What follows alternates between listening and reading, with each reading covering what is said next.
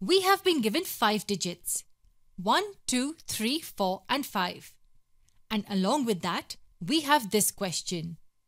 Using these 5 digits, how many 3-digit odd numbers can we form? First case, when repetition is not allowed. And second, when repetition is allowed. By repetition not being allowed, they mean we cannot consider numbers like 131 or 224 which have repeated digits. Let's understand the first part. Read the question well. How many three-digit odd numbers? Odd is the key word here. As we have been asked for three-digit numbers, let's make three slots. What do we mean by odd? A number is odd if it is not divisible by 2. Is 342 odd? No, it's not odd as it is divisible by 2. What about 531? Is this odd? Yes, it is, because it is not divisible by 2. Similarly, 325 and 243 are odd. In simple words, this three-digit number will be odd if its unit digit is odd.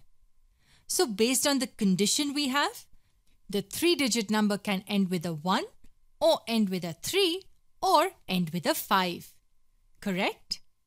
These are the only three possibilities here. Now focus on the first possibility. The number ends with a 1. In how many ways can we fill the first slot or the hundredth slot? What do you think? The digit 1 is gone, so the hundreds place can be filled with any one of the remaining four digits 2, 3, 4 or 5 four ways in which it can be filled. What about the second slot?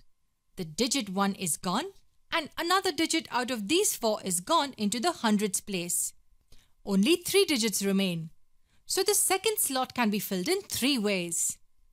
With 1 in the units place and as we are filling the first and the second slot, we multiply this. And is always multiplication.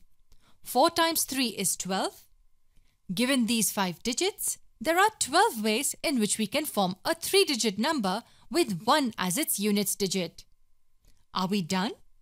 No, we still have to look at these two cases. In the second case, the digit 3 is gone. The first slot can be filled with 1 or a 2 or a 4 or a 5. Four ways. As two digits are gone, the tens place can be filled in three ways. Again, as we are filling the first and the second slot, we have a multiplication sign here. Given these 5 digits, there are 12 ways in which we can form a 3-digit number with 3 as its units digit. And similarly, we get a 12 here as well. Let's zoom out slightly. What do we do with these three numbers? Do we add them or multiply them? To know the answer, just use plain English. The units digit is 1 and 3 and 5? Or should we say that the units digit can be 1 or 3 or a 5? Of course, it's an OR. Based on the condition given, the units digit can be 1 or 3 or 5. And OR implies plus. Adding these three, we get the answer as 36 ways. 36 ways in which we can form 3-digit odd numbers using these 5 digits. Now this was slightly long and a more logical way of solving this. Now that we know the concept, let's look at a quicker way to solve it. We know it is a three-digit number. What is the condition given to us? The condition is that the number should be odd. Remember a golden rule. Whenever we are given a condition, start with it. As the condition is about the numbers being odd, we can be sure that it depends on the units digit. So we start off with the units digit slot. In how many ways can we fill this slot?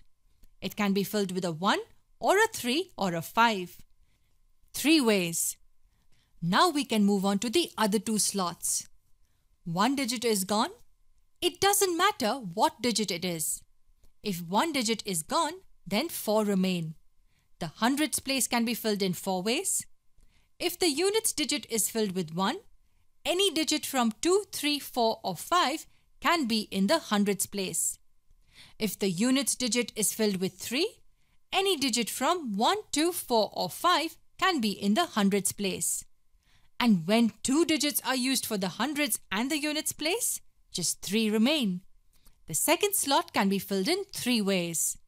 And we multiply these to get the answer 36 ways. We got the same answer, but a lot quicker. Some of you would be thinking, why start with the condition? What if we don't? Let's say we decide to start with the hundreds place. In how many ways can we fill the hundreds place digit? We can fill it with any of the five digits. Five ways. Having used one digit here, the tens place can be filled in four ways. And now we come to the units place. In how many ways can we fill the units place? Can we say three ways as three digits are left? Maybe not. Let's say we used a 1 here. We have 2, 3, 4 and 5 left. Say I pick a 3 here. Now, in how many ways can the units digit be filled? It has to be odd. The only odd digit that remains is 5. It can be filled in just one way, and that's 5. Let's take another scenario. Say we fill the hundreds place with 2 and we picked a 4 in the tens place. Now tell me, in how many ways can we fill the units digit? 1, 3 or 5. All will keep the number odd. In this case, there are three ways in which the units digit can be filled. So we end up with conflicting answers if we don't start with the condition. When forming numbers, remember to start with the condition. There are 36 ways in which we can form three-digit odd numbers using these five digits if repetition is not allowed. And what if repetition is allowed? Remember, life becomes really easy if repetition is allowed. Let's solve it on a new page. Using these five digits, how many three-digit odd numbers can be formed if repetition is allowed? Okay, let's solve the second part. We are talking about three-digit numbers here and they have to be odd. Let's start with the condition. In how many ways can we fill the units digit? As the number has to be odd, we can fill the units digit with either a 1 or a 3 or a 5. Three ways in which the units digit can be filled. We are done with the condition. In how many ways can we fill the hundreds place now? What do you think?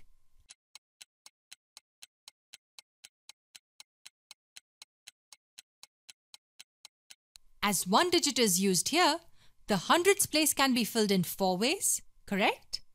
No, it's not. Don't forget, repetition is allowed.